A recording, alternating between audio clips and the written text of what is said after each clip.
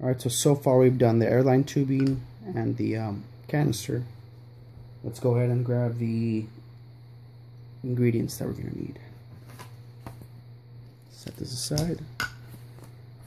Alright, so you're going to want to take a little over a third of sugar.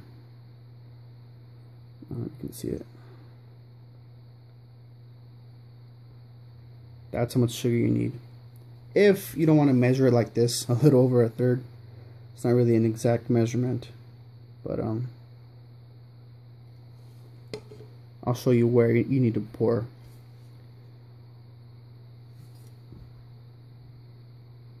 There are these little um, arrows down there, kind of hard to see. There's four, and they only reach a certain height. So you're gonna want to pour this until you can't see them anymore.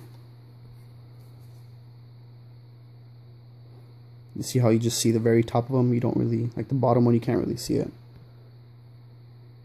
But you can see the top one. You don't want to pour it to the very top of that. And then fill, the, fill this canister with water up to this marker right here. Before we put the water, you have your sugar, and you want to take this box, and you want to take the activator and stabilizer out of this. You got three activators and three stabilizers. So take one activator, take one stabilizer. You're going to want to cut them open and pour them in there with the sugar. So it's sugar, stabilizer, activator. And once you have this in there, you can mix it up if you want prior to the water.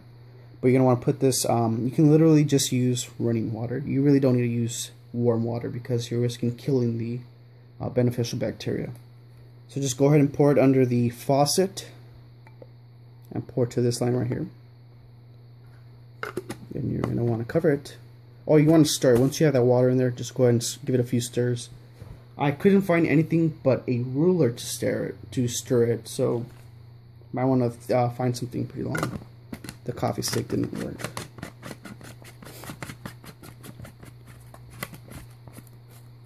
Alright, so now that you have it um, covered.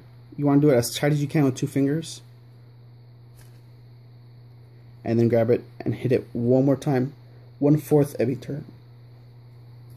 Ah, that makes sense.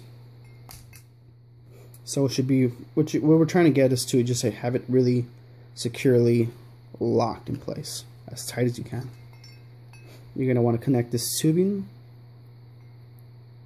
rather quickly so you don't waste any CO2.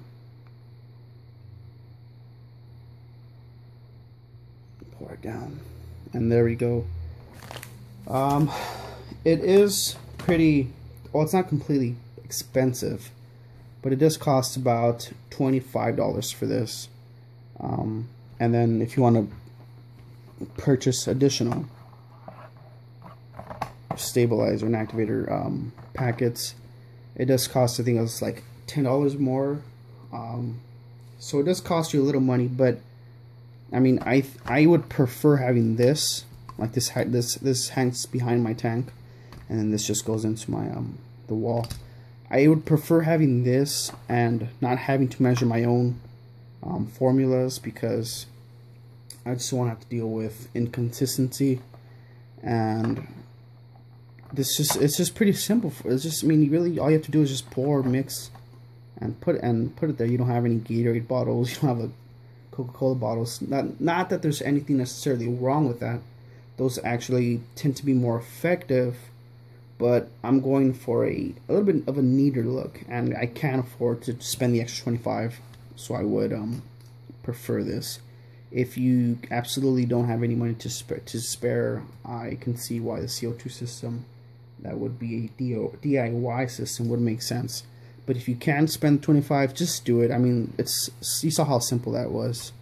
And I'm ready to go. I'm going to put this in my fish tank and I'll have CO2 for up to 28 days. Not 28 days. A lot of people expect it to last 28 days.